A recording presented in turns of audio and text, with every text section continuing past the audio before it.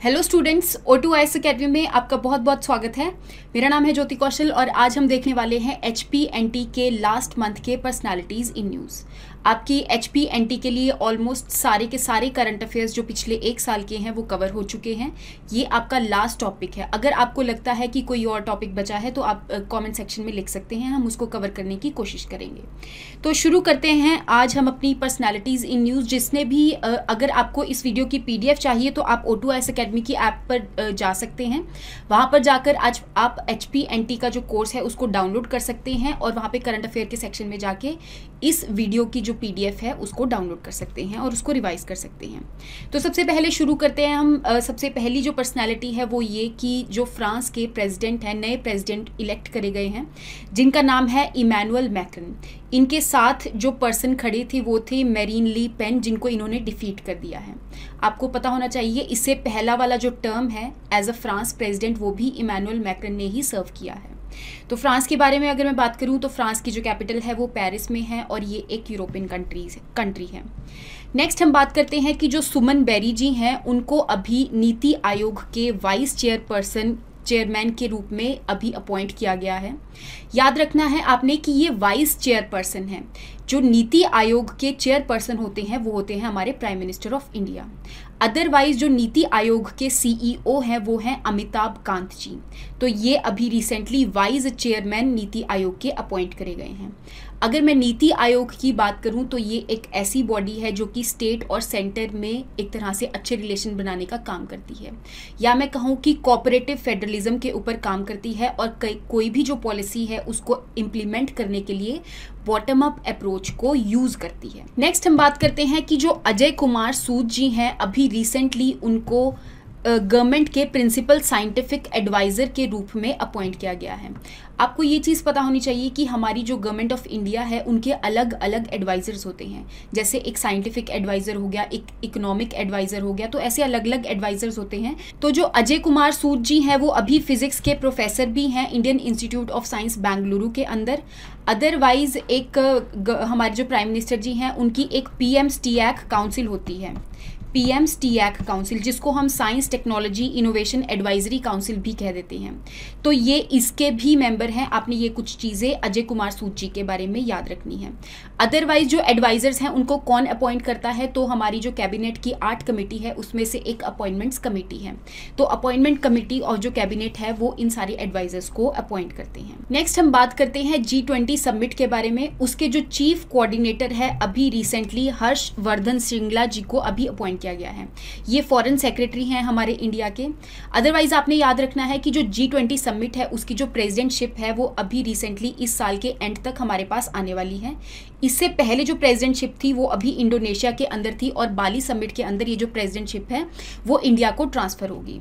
तो आ, हमारे जो पीयूष गोयल जी हैं वो तो जी ट्वेंटी के शेरपा हैं और जो चीफ कोऑर्डिनेटर हैं जी ट्वेंटी समिट को आ, एक तरह से कंडक्ट करने के लिए तो वो है हर्षवर्धन श्रृंगला जी। आपने ये चीज़ याद रखनी है। नेक्स्ट हम बात करते हैं कि जो I L F S company है उसके अभी जो चेयरमैन है recently C S Ranjan ji को अपॉइंट किया गया है। ये मिनिस्ट्री ऑफ़ कॉरपोरेट अफेयर्स ने छः महीने के लिए इस पोस्ट पर एक तरह से अपॉइंट किया है। अगर मैं आई एल एफ़ एस की बात करूँ तो infrastructure leasing and financial services limited है एक ऐसी कंपनी है जो कि एक तरह से फाइनेंस प्रोवाइड करती है ताकि हमारी कंट्री के अंदर एक तरह से इंफ्रास्ट्रक्चर जो है उसको डेवलप किया जा सके। नेक्स्ट हम बात करते हैं कि जो गिलबर्ट एफ़ होंगबो जी हैं, अभी रिसेंटली उनको आईएलओ के डायरेक्टर जनरल अपॉइंट किया गया है। अगर मैं आईएलओ की बात करूँ तो इंटरनेशनल लेबर ऑर्गेनाइजेशन है, जो कि लीग ऑफ़ नेशंस के टाइम 1919 में बनी थी और ये जो ऑर्गेनाइजेशन है, ये एक तरह से लेबर के लिए स्टैंडर्ड कोड्स जो हैं उनको सेट करती है all over the world next हम बात करते हैं कि जो देवशीष पांडे जी हैं अभी रिसेंटली उनको आई आर डी ए आई के चेयरपर्सन अपॉइंट किया गया है। अगर मैं आई आर डी ए आई की बात करूँ तो हमारी कंट्री के अंदर जितनी भी इंश्योरेंस से रिलेटेड जितने भी लाइसेंसेज वगैरह हैं, उन सबको रेगुलेट करने के लिए इस अथॉरिटी को बनाया गया था। इनके चेयरपर्सन आपने याद रखने हैं। अदरवाइज़ ये जो बॉडी है, वो मिनिस्ट्री ऑफ़ फाइनेंस के अंडर आती है। नेक्स्ट हम बात करते हैं शेन वॉर्ने जी के बारे में, जो कि ऑस्ट्रेलियन क्रिकेटर हैं। एक तरह से बॉलिंग में बहुत ही ज़्यादा एक फ़ेमस पर्सनैलिटी हैं।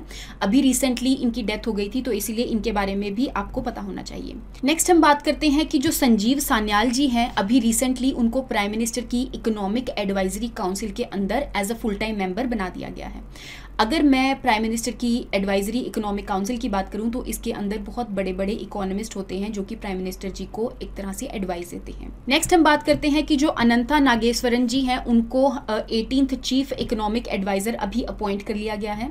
यहाँ पे एडवाइजर जो है और जो इकोनॉमिक एडवाइजरी काउंसिल है, वो अलग अलग चीज़ें हैं। काउंसिल के अंदर बहुत सारे मेंबर्स आते हैं, लेकिन जो एडवाइजर है, वो सिंगल पर्सनैलिटी होती है। तो आपने याद रखना है, अभी अनंता नागेश्वरन जी को अपॉइंट किया गया है। इससे पहले कृष्णमूर्ति सुब्रमण्यम जी जो हैं, वो हमारे इकोनॉमिक एडवाइजर थे चीफ इकोनॉमिक एडवाइजर थे। नेक्स्ट हम बात करते हैं कि जो रामेश बाबू प्रगनंदा जी हैं, उन्होंने एक चेस टूर्नामेंट हुआ था ऑनलाइन चेस टूर्नामेंट था, जिसको हम बोल रहे हैं एयरथिंग मास्टर्स चेस टूर्नामेंट इस टूर्नामेंट के अंदर इस 16 साल के बच्चे ने, जो कि इंडिया से बिलोंग करता है, चेन्नई में इनका बर्थ हुआ था, इन्होंने नॉर्वे के मैग्नस कार्लसन को हरा दिया है। तो ये चीज़ आपने इनके बारे में याद रखनी है। नेक्स्ट हम बात करते हैं शांति श्री धूलीपुदी पंडित जी। अभी रिसेंटली ये जेएनयू के वाइस चांसलर के रूप में अपॉइंट करे गए हैं। इससे पहले जेएनयू के जो वाइस चांसलर है, उनकी पोस्ट पर अभी तक मेल्स ही थे।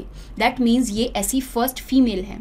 अगर मैं जेएनयू की बात करूँ तो ये न्यू दिल्ली के अंदर यूनिवर्सिटी है, जो कि हमारे प्राइम मिनिस्टर जी के ऊपर रखी गई है। दैट इज़ जवाहरलाल नेहरू जी के ऊपर रखी गई है, जो कि 1969 के अंदर बनी थी।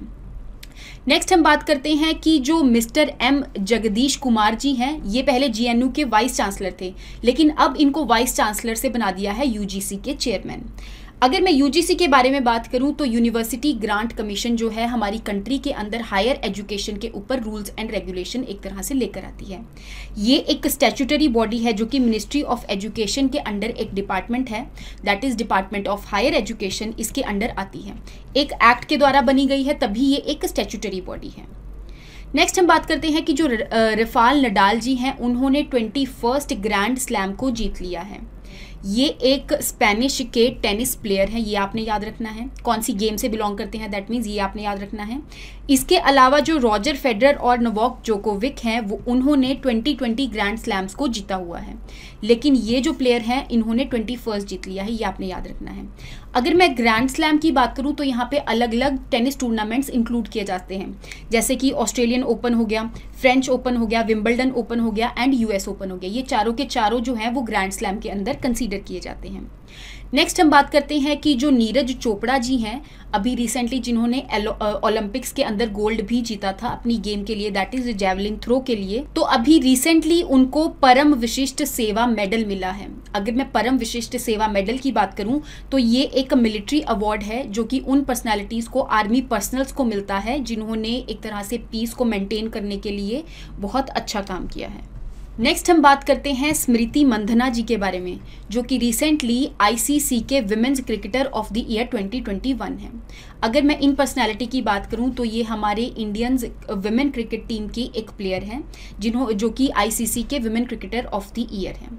अगर मैं आईसीसी की बात करूँ तो एक तरह से वर्ल्ड के अंदर जितनी भी क्रिकेट से रिलेटेड चीज़ें हैं, उन सब चीज़ों को रेगुलेट करने के लिए ये एक बॉडी बनाई थी, जो कि नाइनटीन में बनाई गई थी। लेकिन उसके बाद इसका जो नेम है, वो चेंज हो गया और अभी रिसेंटली जो इसका नाम है that is international cricket council वो 1987 में रखा गया था। नेक्स्ट हम बात करते हैं कि आपको पता ही होगा कि जो twenty chief of army staff है, वो है जनरल मनोज पांडे जी, जिन्होंने अभी एम एम नरवना जी को रिप्लेस किया है।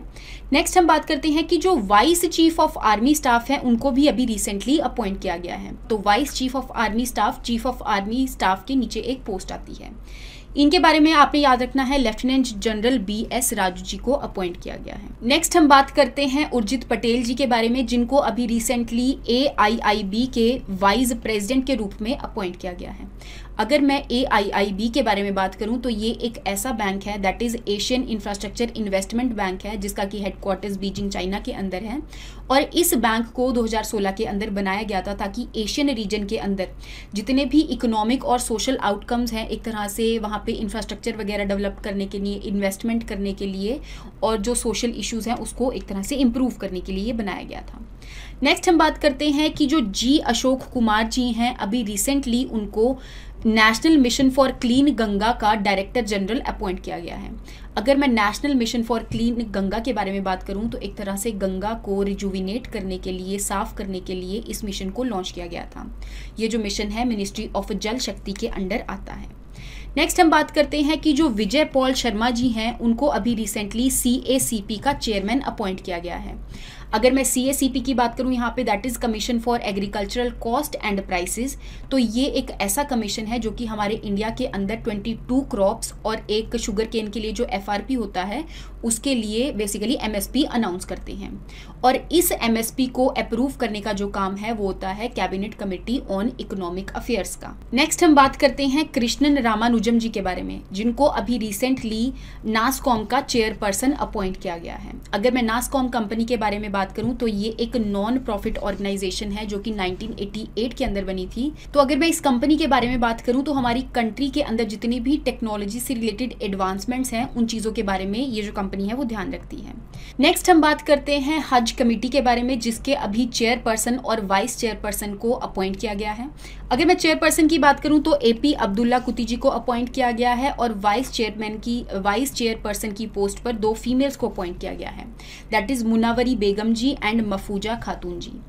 अगर मैं हज कमेटी के बारे में बात करूँ तो ये मिनिस्ट्री ऑफ़ माइनॉरिटी अफेयर्स के अंडर आती है, ये एक ऐसी कमेटी है। ये जो कमेटी है, वो एक स्टैचुटरी बॉडी है जो कि एक एक्ट के द्वारा बनाई गई थी 2002 के अंदर। ये कमेटी कुछ इवेंट्स को ऑर्गेनाइज करती हैं। किसको ऑर्गेनाइज करती करती है? हज पिलग्रिमेज को ऑर्गेनाइज करती है। आपको पता ही होगा कि हमारी कंट्री के अंदर अदरवाइज़ भी जो मुस्लिम पीपल होते हैं, उनको अपनी लाइफ टाइम के अंदर एक ना एक बार हज के लिए, हज पिलग्रिमेज के लिए ज़रूर जाना होता है सऊदी अरब मक्का के अंदर। तो उस चीज़ को ऑर्गेनाइज करने का काम जो है, वो ये कमेटी करती है। आई होप आपको यहाँ तक जितने भी पर्सनैलिटीज़ इन न्यूज़ हैं, वो समझ में आई होगी। नेक्स्ट क्लास के अंदर हम कुछ पर्सनैलिटीज़ जो बची हुई हैं, वो कवर करने वाले हैं। So thank you so much and have a nice day